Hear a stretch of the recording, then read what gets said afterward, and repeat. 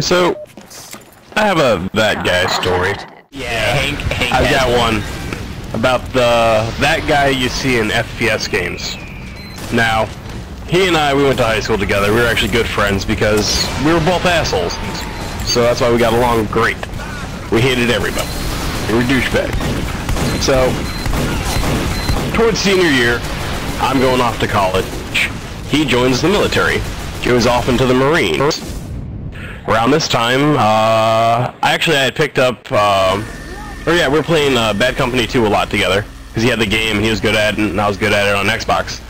So we were a good team. He goes off and he gets goes off to training. A few months later, he comes back home with an injury. Apparently he broke his ankle. What ended up happening is he was mouthing off to his COs on the first day and then shut up.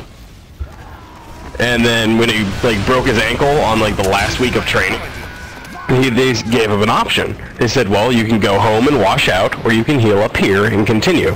He's like, well, I'll go home. Because that's the logical choice. I can come back, right? And they're like, oh, yeah, sure, totally. You can't. He still comes home. Uh, he then joins the army. The army takes him in after he heals up and they say, okay, so here's what's going to happen. You went almost all the way through training. You went far enough that you don't have to basically do basic training. We just have to get a class up to your level. So you get to wait around on base, basically doing nothing, and get to act as the poster child for the COs, and get to do pretty much nothing, and have it super easy, up until the class is ready to start training with you.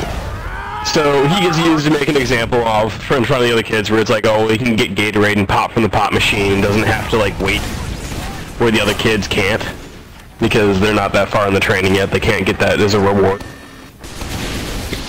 So what ends up happening is he gets pissed off one day and beats a kid pretty badly with a padlock and gets dismissed. What? I didn't know about this until he. Yeah, I, I didn't know about this up until he came home and like he was just pissed off at the guy. Like the kids were just like, yeah, they're just all giving him shit, and he like got pissed off and beat a kid down with a padlock. So I didn't know this. Like I didn't know this little fact until he came back. He's like, yeah, I'm back from the army, guys, and I went over to my other friend's house because he absolutely was begging me to show up so he didn't have to spend this whole time with this kid who, um, I'll just call him Army Guy.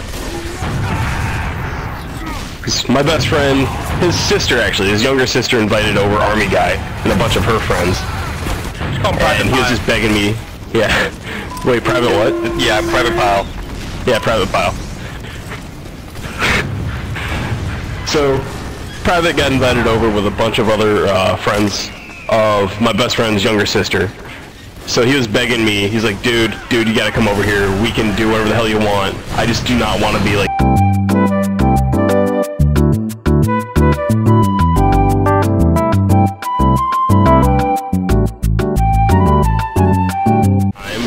Cigarettes and they're taking a smoke. Private Pile's like, yeah, you know, I'm gonna be kind of looking for new work. You know, it's kind of shitty. You know, I got screwed over again by the army, and we're all like, oh, well, you know, how? How did you? How did you get screwed over by the army this time, dude? I mean, you said you got screwed over by the Marines, and then they wouldn't. They stopped talking to you. So how did the army screw you? like He's like, oh, well. He's like, oh, well, you know, I kind of beat a kid with a padlock, and they dismissed me. Which at that point we were just like, oh. We got silent. And I was like, okay, so why did you beat a kid with a padlock? He's like, oh, well, it made me mad. So we're sitting next to him, one of us on either side of him, and we're just like, oh, okay. And he's like, yeah, you know, you I'm thinking of away? Yeah, we started inching away from him. He was like, yeah, you know, I'm thinking of applying to like Target for the time being, you know, just kind of get a job going while I'm trying to think of something else. And we're like, oh, okay, dude, that's cool. He's like, yeah, you know, I really want to build something like, you know, because I worked at a hardware store at the time. So he's like, yeah, dude, I, I totally want to like build something with you and like do something crazy. And we're like, uh, yeah, sure, dude, whatever you want to do, it's, it's cool, man. Because I love doing crazy ideas and like crafty, like crafty shit with like making potato cannons. He's like, yeah, can we make a gun like a potato cannon and have it fire padlocks? I was just like, uh, no, we can't. What? What's with the padlock? Padlock-based offense. He took a joke and ran with it and like took it way too far. Also, his other question was, was he still remembered as that douchebag from high school? The answer, of course, being yes. Yes, he was. Private padlock. Jesus. I stopped talking to him after that night. He kept asking why I wasn't ever on Vegas or, or um, Rainbow Six Vegas 2 or on Battlefield anymore. Maybe because you And I'm like- beat people with padlocks. Exactly. I, I never told him that. I was just like, oh yeah, dude, I'm, I'm always busy. You know, I'm working two jobs, going to college. I just don't have time anymore. You know. Oh my god, he yeah. tried not beating people with padlocks. We just didn't even ever bring it up. We're just like, okay, we're never talking to this kid again.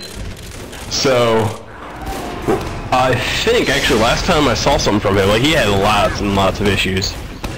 But um, like he was always on Facebook whining, complaining about stuff, and he, I think he got let go from Target because they realized what he did, and they're like, yeah, no, we don't want you working here anymore.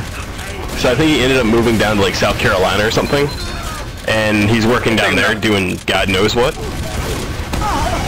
I have no idea though. Like I kind of I'll like tell like have a lost really touch with him. terrible joke involving the Klan, but I'm not gonna do that. That would not surprise me at all. This kid was one of those where he'd like take a joke way too far and then actually get You serious need about it. someone who can beat a person with a padlock. I've got your man right here. Oh Oh my god, Brad. Burrito, goddamn. I did. I can I see that, said it was terrible. no, it's not Oh, terrible. It's the best You're best thing surrounded ever. by a bunch of Jews, and all you got is a padlock. Now here's what you want to do. Oh man. See, I can make jokes about the Klan because I lived in the one state of the Union that was actually ran by the by the Klan in the 1920s. In the Union.